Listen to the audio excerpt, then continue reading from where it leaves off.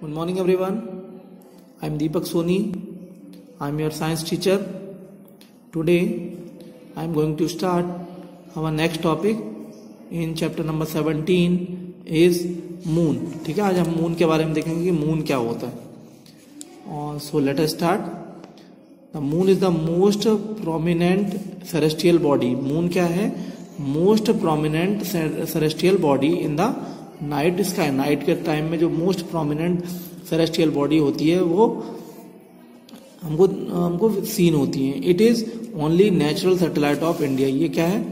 It is only natural satellite of India a celestial body that revolve around planet is called satellite एक जो celestial body that revolve around planet किसी planet के around में जो body revolve होती है, उसको हम लोग क्या बोल देते हैं?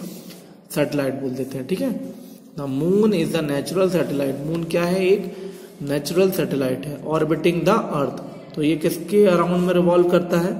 Revolve around the earth. It is about three lakhs eighty four thousand kilometre away from the our planet mean जो जो मून है, वो कितना डिस्टेंस पर प्लेस्ड है? Three lakh eighty four thousand kilometre from our planet हमारा planet से इतना डिस्टेंस पे ये प्रेजेंस है। It is much smaller and brighter than earth ठीक है, ये बहुत छोटा होता है अर्थ से and lighter than earth earth से बहुत छोटा होता है और स्मॉलर होता है। The moon takes 27.3 days to orbit the earth mean जो मून होता है वो कितना दिन लेता है? अर्थ का एक राउंड करने में around 27.3 days and 29.5 days to spin on its axis और अपनी एक्सिस पे कितने दिन में रोटेट होता है वो अराउंड 29.5 डेज़ में और जो मून होता है वो अर्थ की ऑर्बिट कितने डेज़ में कंप्लीट कर लेता है? Around 27.3 days since both the time duration are almost equal ठीक है? तो ये दोनों टाइम ऑलमोस्ट क्या है? इक्वल टाइम ड्यूरेशन है।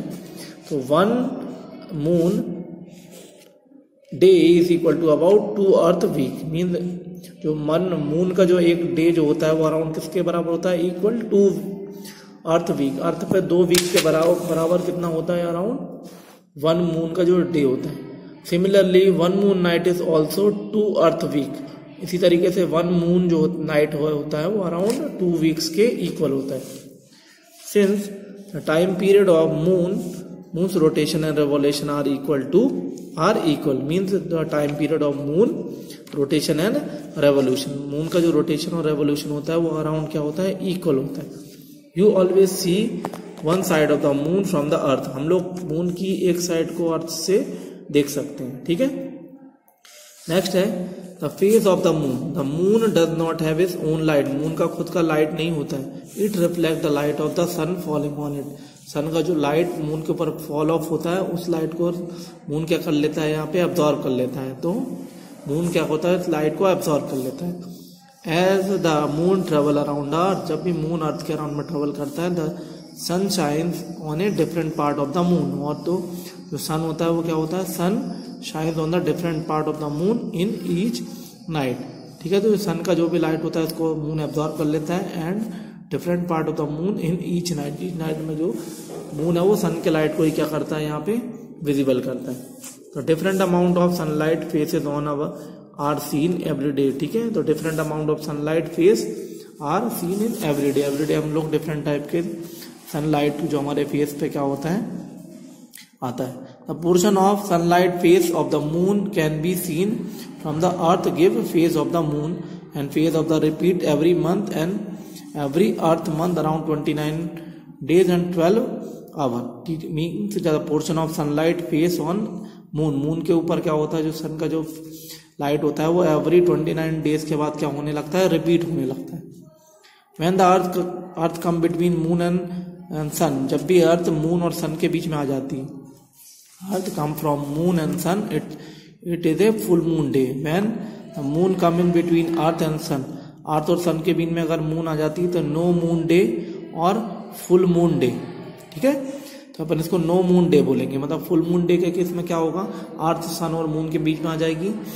और जब मून सन और अर्थ के बीच में आ जाता है तो इसको नो मून डे बोल देते हैं, ठीक है? तो याद रखना on the full moon day और इसको क्या बोल देते हैं? पूर्णिमा।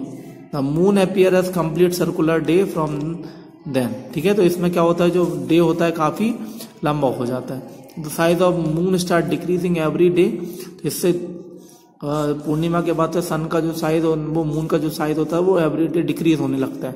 From one day to fifteen day disappear completely और पंद्रह दिन के बाद क्या हो जाता है ये? Appear completely day when the moon is not seen at all is known as new moon day जिस दिन में मून कम्प्लीटली सीन नहीं होता है, उस दिन को हम लोग क्या बोल देते हैं?